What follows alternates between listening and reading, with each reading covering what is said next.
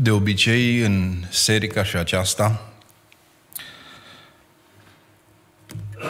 participăm ca prin prezența noastră să fim o mângâiere pentru familia îndoliată.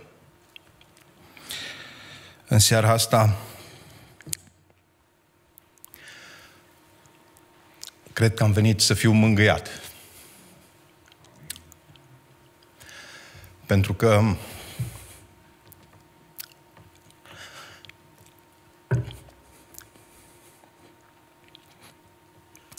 am pierdut un om pe care l-am simțit ca un tată în ultimii 26 de ani.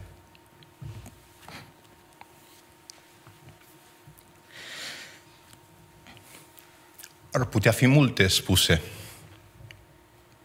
și ar trebui mult.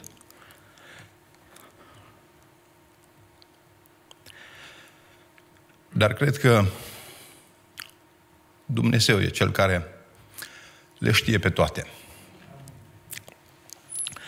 Cuvântul pe care l-a citit fratele din Epistola către evrei a spus așa, uitați-vă cu băgare de seamă la sfârșitul felului lor de viețuire. Mi-a dat Domnul Harul să fac parte din familia lărgită a fratelui Talpoș. Să ajung și eu, ca și alți slujitori în casa lui de atâtea ori, să vină de atâtea ori în casa noastră și să învățăm lucruri care nu sunt scrise în cărți. Și nu toate pot fi spuse.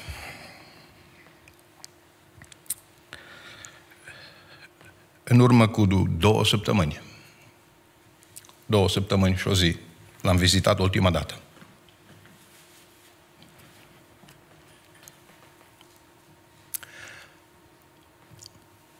Ne-am rugat, s-a rugat pentru noi, ne-a binecuvântat și am dat să plecăm. Și când eram în ușă,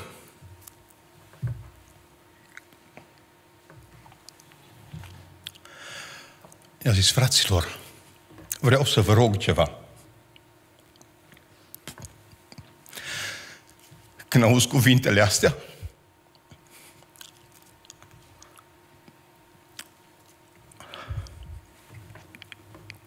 și am spus, da, orice.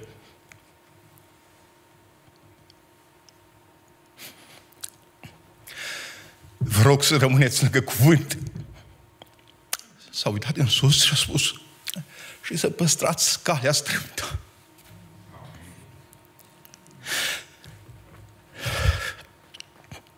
N-am știut atunci că vor fi ultimile cuvinte.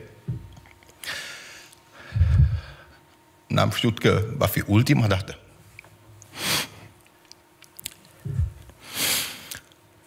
Dar așa a hotărât Dumnezeu.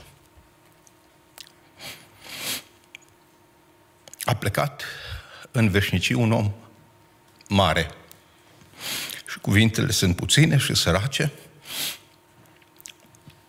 dar Dumnezeu nu greșește niciodată.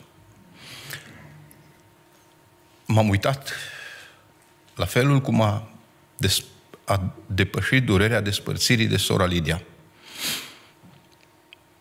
Și acolo am văzut un om mare al lui Dumnezeu. Am văzut cum a încheiat alergarea.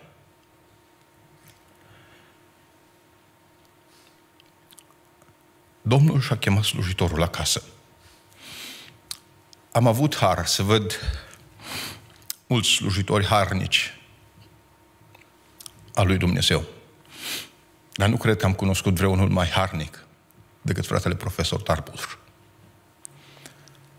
Mulți din colegii păstori care sunt în țară sau în străinătate. Pot să depună mărturie. Care era ora la care se aprindea becul în birou la rectorat și care era ora când se stingea becul. Mulți dintre noi am beneficiat de sute de ore de grijă părintească. Ca să fim de folos lucrării împărăției lui Dumnezeu. Și da, cum au spus și frații dinainte, cum probabil pot să spună mulți, ne-a iubit pe fiecare dintre noi ca pe copiii lui. În primul an de seminar, în primele luni, a aflat că tatăl meu nemântuit nu înțelege chemarea pe care Dumnezeu mi-a făcut-o la slujire și că e supărat că am lăsat totul baltă și am plecat. Și când a aflat asta, mi-a spus, duminica ce vine, mergem la el. Și nu putem să mergem la el, că e supărat. Cum? N-ai grijă, mergem la el. A stat de vorbă cu tata și i-a promis că îl va boteza. Și așa a făcut-o după 10 ani de când i-a făcut promisiunea.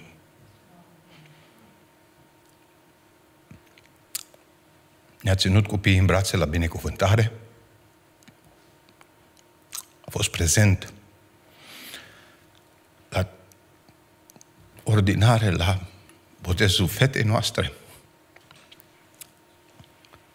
A fost mereu aproape. Și oricând n-am știut ce să fac, am știut pe cine să întreb. Cred că s-a întâlnit cu ce a lucrat și că stăpânul pe care l-a iubit i-a dat cununa. Mă rog numai să ne învrednicească Domnul. Să ne ducem slujba până la capăt. Știind că și pentru noi va veni ziua când ne vom întâlni cu acela pe care l-am slujit.